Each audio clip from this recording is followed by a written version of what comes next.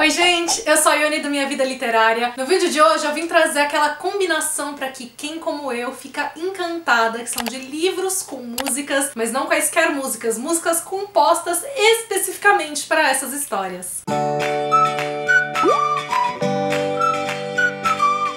minha primeira indicação dessa listinha, gente, foi um dos últimos romances que eu li e ele era absolutamente tudo aquilo que eu precisava depois de uma série de leituras mais densas, pesadas. E ao Entre Reencontros e Melodias da Débora Strogo. Ele é lançamento, já tá disponível em e-book na Amazon e ele vai trazer a história de melhores amigos que são afastados com o tempo, vizinhos quando crianças, eles se apegaram muito a um ao outro e o começo do livro narra justamente esse início da amizade deles, né? Os dois ali adolescentes. Então, praticamente um quarto do livro ele tem mais essa cara jovem adulto, porque ele retrata esse período da vida dos dois. Porém, como eu mencionei, vai ter um evento ali que vai fazer com que os dois se afastem eles ficam 10 anos sem se ver e voltam a se encontrar agora já adultos, os dois com 24, 25 anos. E ele, o protagonista, que é o Danilo, agora é um músico de sucesso, ele já escrevia, ele já compunha, tocava quando era adolescente, mas agora ele vive disso. E a protagonista, que é a Briana, ela é produtora de eventos, sempre foi ótima com organização. O livro é narrado pela perspectiva dos dois em primeira pessoa, então a gente tem um capítulo narrado por cada um, o que deixa um tom também mais gostoso pra história, porque a gente acompanha os dois lados. Eu adoro essa coisa dos dois serem vizinhos. Por tudo que envolve na história, aquela coisa de um ficar observando o outro pela janela, entrar escondido pela janela do quarto, aqueles clichês bem gostosos que a gente vê em histórias desse tipo. A escrita da Débora Strogo é uma delícia de se acompanhar, é uma história muito leve, é uma história muito rápida, foi um livro que eu li em um dia, fazia bastante tempo que eu não conseguia fazer isso, nem sentia a leitura passar. A partir do momento que a gente chega na fase adulta dos dois, a narrativa volta a ter mais cara de narrativa da Débora, então que é essa narrativa né, adulta, com mais piadas, mais divertimento. Embora a primeira parte seja leve, ela foi diferente para mim conhecer essa escrita jovem adulta da Débora. E como eu mencionei, livro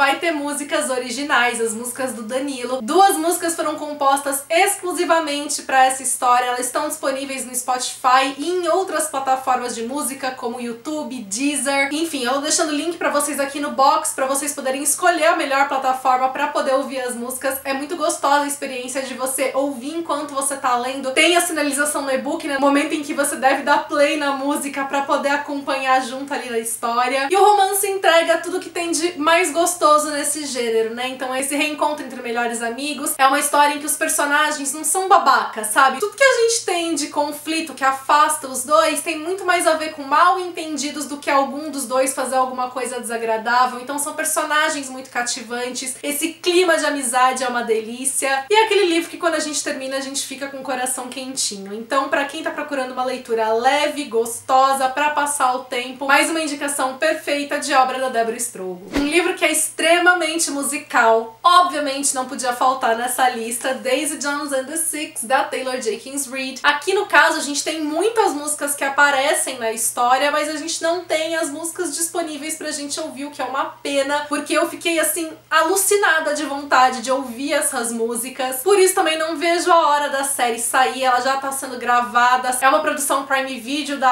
Amazon. Enfim, estou vivendo por este momento. Daisy Jones and the Six conta a história de uma banda, uma banda fictícia que fez sucesso nos anos 1960 a 1970, acabou desaparecendo. O livro todo é narrado em forma de entrevistas pelos integrantes dessa banda que vão reconstituindo através de suas falas esses acontecimentos. A narrativa por si só então já é bem diferente por ela ser nesse esquema. É um livro extremamente envolvente ainda assim e que ele tem muito esse processo da produção musical. A gente vê muito das músicas sendo compostas, as inspirações de onde vem, como é o processo e como isso vai afetando os personagens, né? As relações que vão se desenvolvendo durante esses acontecimentos. As músicas são incríveis, as letras, né? Como eu falei, não dá pra gente ouvir, mas foi um livro que me impactou demais. Foi um dos livros que mais me emocionou, assim, nos últimos anos. Foi aquele livro que quando eu terminei, eu fechei e eu só conseguia chorar, sem nem saber direito por que eu tava chorando. Ele traz reviravoltas no final também, que são maravilhosas. Enfim, é meu livro favorito da Taylor Jenkins Reid, é um dos meus livros favoritos da vida. E, de novo, a importância importância musical na história é muito grande. Um dos meus queridinhos de 2021 é Na Hora da Virada, da Eng Thomas, que ele vai trazer também muitas músicas ao longo da história. E ele conta a história da Brie, que tem 16 anos, e ela sonha em se tornar uma grande rapper, como o pai dela. O pai dela foi assassinado quando ela ainda era criança. Só quando ela consegue viralizar com uma música dela, não é passando a imagem que ela gostaria de passar. Ela acaba sendo vista justamente da maneira que ela não desejava. E ele também é um livro incrível. A forma de como ele discute o racismo estrutural, a forma de como ele mostra a vida de pessoas marginalizadas morando na periferia, os problemas que existem lá, onde estão de fato os problemas. É muito didático como a Eng Thomas mostra tudo isso e ao mesmo tempo muito orgânico, muito natural, misturado aos conflitos, às emoções da personagem, que para além de todos esses conflitos também tá vivendo os conflitos de uma garota de 16 anos passando por transformações, entendendo melhor as amizades ao lado dela, tentando descobrir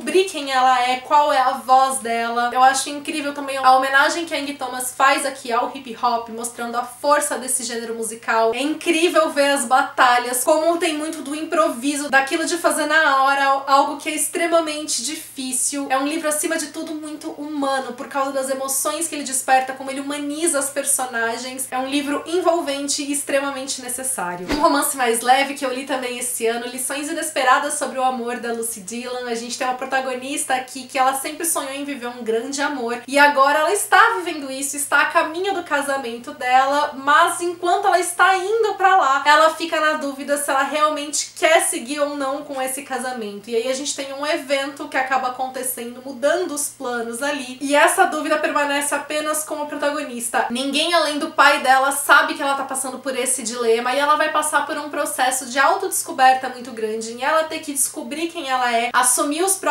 desejos para depois descobrir o que de fato ela vai querer ali para a vida dela. E essa protagonista, ela também tem uma ligação muito forte com a música. Ela tem a música como algo muito importante na trajetória dela. Não é um livro tão musical quanto os outros. A música aparece né, em menores doses aqui, mas ainda assim a gente tem também música original. E isso também aparece num momento muito bonito da história. É aquele tipo de livro que é leve, que é gostoso de você ler e que ele vai ser também bastante sensível. Para quem gosta de romance de época, Livre para Recomeçar, da Paula Alexandra, também traz músicas originais. Inclusive, uma das músicas também está disponível para ser ouvida. A Pá escreveu aqui para a história e depois o fã-clube dela fez uma surpresa para ela, junto com o Manu, de irem atrás e contratar alguém para produzir de fato a canção. E aqui a protagonista ela é francesa, ela se casa e o marido dela envia para o Brasil para um sanatório. Ela fica três anos presa lá e só depois da morte dele é que ela é libertada. É assim que o livro começa.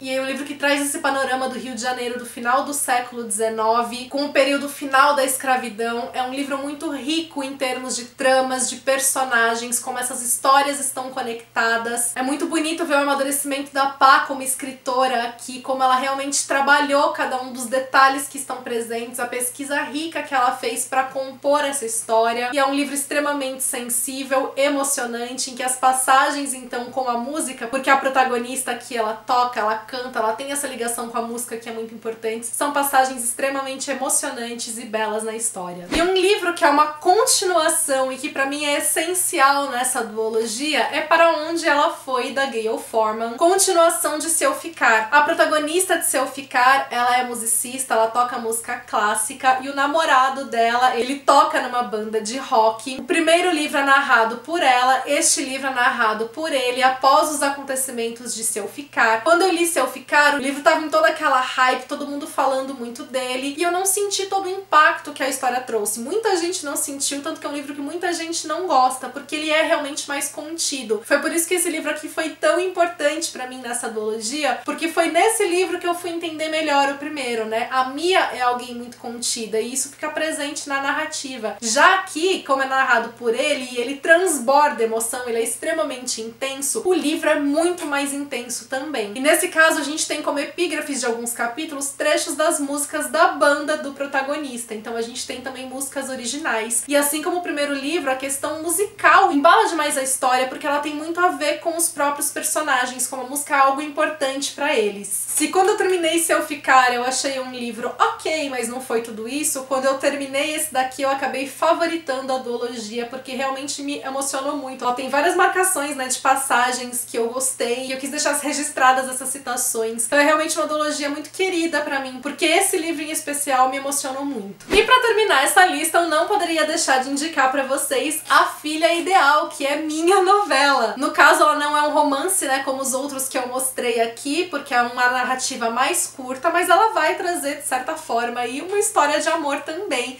embora o foco não seja a história de amor, seja a protagonista. Ela é uma releitura de Aladdin, mas pela perspectiva da Jasmine, faz parte da antologia Femme Fatal, só que essas histórias podem ser lidas de maneira independente, elas não têm conexão entre si. Elas só fazem parte de uma mesma antologia porque todas elas são releituras de alguma história de alguma princesa, de alguma heroína da literatura. E sempre trazendo um lado diferente, mais empoderado, mais sombrio dessas personagens. Em A Filha Ideal, eu trago para vocês a história da Yasmin. Ela é uma cantora que desde pequena ela faz sucesso e a imagem dela sempre foi moldada, né, como de uma boa moça, como de uma boa garota. As músicas dela têm tudo a ver com isso, de forma que ela foi rotulada pela mídia como a filha ideal, porque ela sempre foi esta garota ideal. E agora quando ela é adulta, ela se questiona se ela de fato é essa pessoa e aí a partir disso ela questiona se as músicas que ela canta, que não são compostas por ela, são músicas que compõem para ela cantar, refletem realmente quem ela é, refletem a arte que ela quer fazer, a música que ela quer fazer. O grande desejo dela é poder começar a compor as músicas próprias, mudar um pouco essa imagem, só que ela tem um contrato que ela assinou com uma empresa que depende de manter essa imagem e o pai dela tá à beira da falência. Então eles dependem desse contrato, o que faz com que ela não possa romper com ele. O livro é escrito em forma de diário, são os registros então da Yasmin, os desabafos que ela faz. Além disso, tem também posts em sites de celebridades, em blogs, a mídia, né, falando sobre ela, e temos também, como eu mencionei, letras de músicas que também só estão disponíveis ali no e-book, né? As músicas não existem realmente pra gente ouvir. Foi uma das histórias que mais me desafiou em termos de escrita, por conta de toda essa forma dela, de tudo aquilo que eu precisei trabalhar para ela poder fazer sentido. E é uma história pela qual eu também tenho muito carinho. Se vocês já leram, contem pra mim aqui nos comentários o que vocês acharam. Peço também para que vocês deixem avaliação na Amazon, que essa é uma forma de impulsionar e ajudar o meu trabalho. Bom, e vocês? Tem outros livros além desses para indicar? Eu conheço outros livros que eu acabei deixando de fora também, que não dá pra fazer uma lista com tudo, né? Mas deixem mais indicações aqui. E como eu falei, eu amo livros com músicas, quanto mais a gente tiver, melhor. Gostou desse vídeo? Deixa sua curtida, isso ajuda demais meu trabalho. Pra quem é novo por aqui, seja muito bem-vindo, seja muito bem-vinda. Aproveita pra se inscrever, ativar o sininho pra não perder nenhuma notificação. Me acompanha também nas demais redes sociais, por lá a gente tem um contato mais próximo.